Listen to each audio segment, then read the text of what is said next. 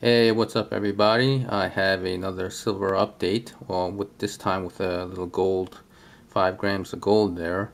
Um, I was reflecting on one of the videos that I saw on Mike Maloney's video channels and he had mentioned something about possibly backing gold and silver to a new currency, a digital currency at the molecular or atomic level of these metals.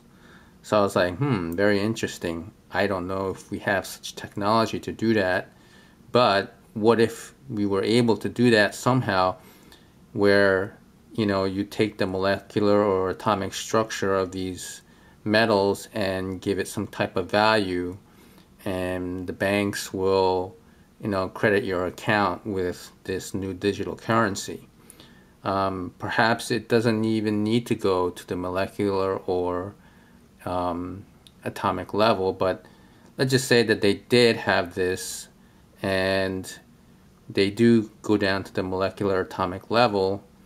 Would the 999, um, uh, the four nines, make a more of a difference than a triple nine, which is an American Silver Eagle? So just wanted to uh, pose a question out there and get your comments. Um, let me know what you think. All right. Uh, keep stacking and thank you for watching.